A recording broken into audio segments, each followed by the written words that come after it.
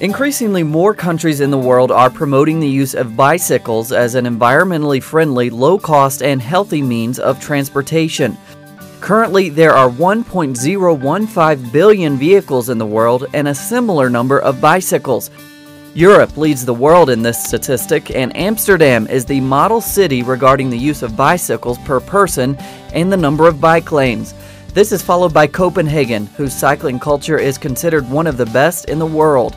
In third place is Sweden, connecting cities and towns with extensive bike paths. In 2014, Sweden announced the construction of a bicycle highway of 30 kilometers with four lanes that will join the cities of Lund and Malmö. It will cost 5 million euros. Let's see in the Americas, what are the countries most friendly to this system of transport? The city of Montreal in Canada has a system of public bikes called Bixi, with 5,000 bikes and 30 bike stations.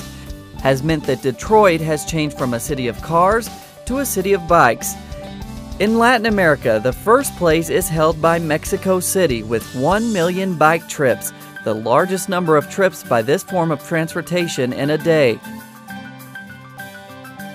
Bogota celebrated for the first time in 2000 the Car Free Day, which is commemorated on the 22nd of September. In Buenos Aires, there has been an increase in the bicisendas, as the locals call bike lanes, against the resistance of taxi and bus drivers who are forced to reduce their speed.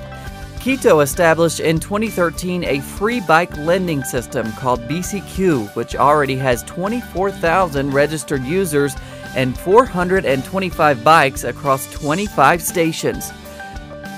Caracas Free Will is an initiative that is two years old so that locals can enjoy riding on a Sunday with a free loan of light bikes that have been made through an agreement with the Islamic Republic of Iran. The bicycle is becoming more and more a real alternative to other forms of transport, as well as bringing many benefits to one's health.